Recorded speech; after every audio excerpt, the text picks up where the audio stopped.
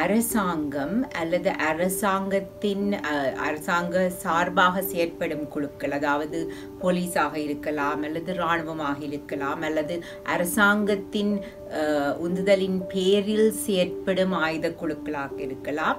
அவர்கள் வந்து ஒருவரை கைது செய்து அல்லது கடத்தினால் கடத்தப்பட்ட பின்பு அல்ல கைது செய்யப்பட்ட பின்பு அந்த கைதை வந்து அவர் கைது செய்யப்பட்டிருக்கிறார் என்று அதை வந்து ஒத்துக்கொள்ளாவிட்டால் அவர் எங்கே தடுத்து வைக்கப்பட்டிருக்கிறார் என்பதை வந்து கூறாவிட்டால் வெளிப்படுத்தாமல் விட்டால் அவருக்கு என்ன நடந்து விட்டது என்பதை வந்து வெளிப்படுத்தாமல் அதை வந்து மறைத்தால் அது வந்து ஒரு வலிந்து காணாமல் ஆக்கப்படுதல் என்று என்றுதான் இந்த சர்வதேச மட்டத்தில் ஐநாவின் இந்த சமவாயம் வந்து அஹ், வந்து கூறுகின்றது මේක බරපතල අපරාධයක් වගේම මේක දිගටම සිද්ධ වෙන අපරාධයක්. ඒ කියන්නේ ඒක වෙලා ඉවරයක් නෑ.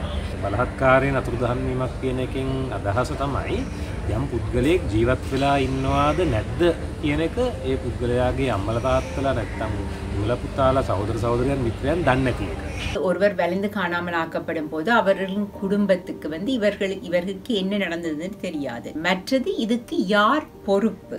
ஏனென்றால் இது வந்து ஒரு சட்டவிரோதமான ஒரு செயல் இது வந்து ஒரு குற்ற செயல் இது வந்து மனித உரிமை மீறல்.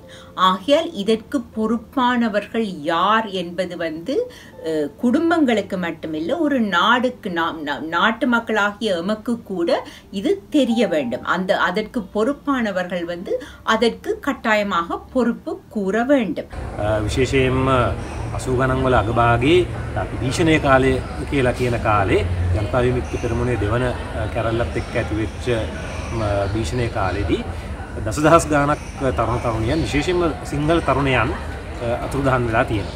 ඒ වගේ ඊට පස්සේ අනූ ගණන්වලින් යුද්ධය නිසා උතුර නැගෙනහිර පළාත්වලත් ඒ වගේම කොළඹ වගේ වතුකරේ වගේ පළාත්වලත් දමිල තරුණ තරුණියන් හුඟක් අය අතුරුදහන් වෙලා තියෙනවා. මේ තරුණ තරුණියන් කියන්නේ මේ අතුරුදහන් වෙච්ච අයගේ තොරතුරු අරගෙන බලපුවම පෙනී යන දෙයක් තමයි මේ බහුතරයක් තරුණ තරුණියන් කියන්නේ. උතර මේ සිංහල දෙමළ දෙකොට්ටාශයෙන්ම බලහත්කාරයෙන් අතුරුදහන් වීම වෙලා තියෙනවා. ඒත් මේ ස්වභාවය වෙනස්. வேதனாவ கந்துலு எக்காய் மற்றது நினைவு கூறல்.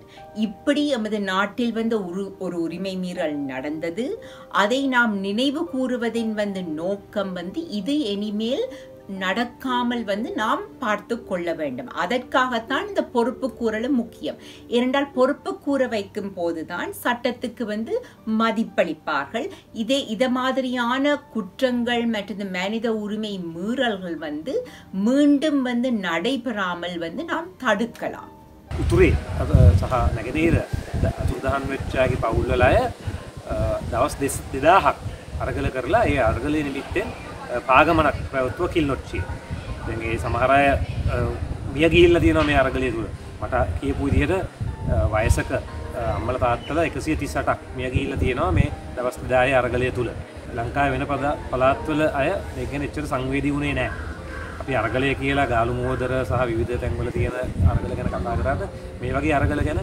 වැඩි සංවේදීභාවයක් තිබුණේ නෑ කියන එක තමයි මගේ අත්දැකීම.